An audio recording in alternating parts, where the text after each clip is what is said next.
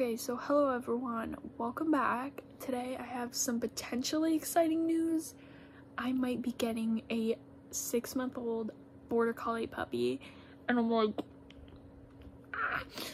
here's why. So I found this dog, her name is Spanky, and her story was that she was actually thrown from a moving car, which is so sad. And I'm just like, how? How? How could someone do that to her? So I was very angry and upset about that. Um, and so, yeah, and I told my parents about her story, and they all agreed that they would take her in a heartbeat if we didn't have cats. And we have four cats. So I'm like, okay. So this actually happened with a previous cat I had. I actually made a PowerPoint talking um, about why we should get this cat, and it worked, and I got her.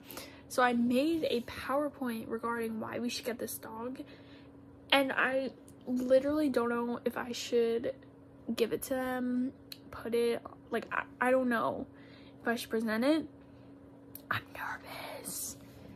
Like, I don't even know. But I love her name because her name actually reminds me of a, of this dog that, like, my grandma's neighbors had. His name was Spanky, which is kind of funny, and he was so cute. He was a little white dog. He was a adorable. I loved him so much. So I really like the name Spanky, but also I've been brainstorming other names because I have a whole page and a half dedicated to, um, sorry, had a notification to girl dog names. So,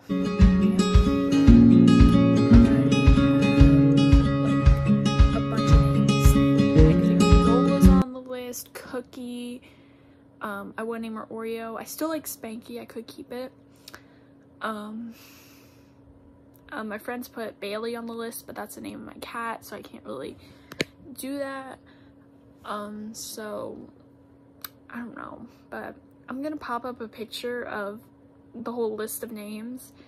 And um, yeah, I think we have Snickerdoodle on there, some cute names. Um, I actually think my friends put Elsa on the list, which I feel like that's kind of a cute dog name, Elsa, you know?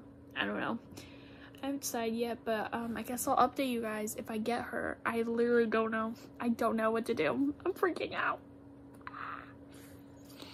But I have like created a schedule for her. Um, sort of, kind of. Basically, my mom works from home, so my mom can take her out during breaks, and then when I get home from school, I could take her out for like a walk or just out in my backyard. And um, yeah, so I don't know I don't know if I'm gonna get her, but um, I guess I'll update you guys if I show the PowerPoint or if I get her. The only time for us to potentially go look at her would be Sunday, and it's Thursday right now, so who knows? Um, I might get her, we'll see. Um, but yeah, I'll let you guys know.